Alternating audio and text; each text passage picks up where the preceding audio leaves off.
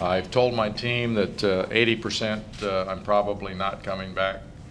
I'm going to think about it. I've got my family coming home with me, and I'm going to talk about it, and uh, I'll decide in uh, probably four to five days or a week. I've been thinking about it the last week. I haven't had enough time because of the game preparation and everything, and uh, I just, uh, I think it may be time uh, for a change and, and time uh, for Joker to uh, take it over.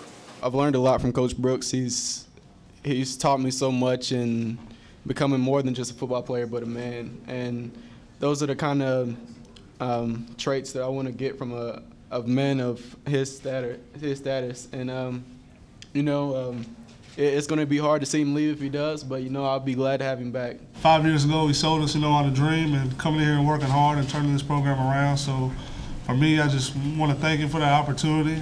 And I mean, I think he's a great coach and he impacts young men in a way that a lot of them probably don't get a lot. So, I'm proud to have been a part of that and been under him for five years.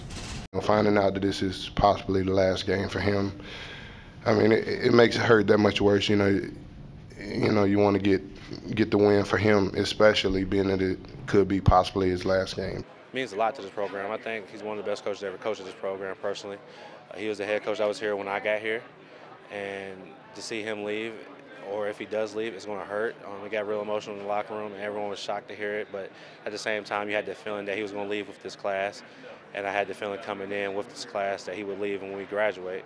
And it just hurts even knowing that I have one more year left because I redshirted, and the chance he not, he won't be here is really sad. But you know, we still have Coach Joker who is recruiting me, and he should be able to take the program on and keep it going in the right direction. I guess it was one of those things that was kind of inevitable. You know, it's going to happen eventually. We all, you know, after you know after this, I didn't really expect it to be after a loss like this for him to just come out and say that. But um, you know, it's it's not easy. Um, obviously, I haven't been here to see, you know, firsthand, you know, the, the things that Coach Brooks has done for the program.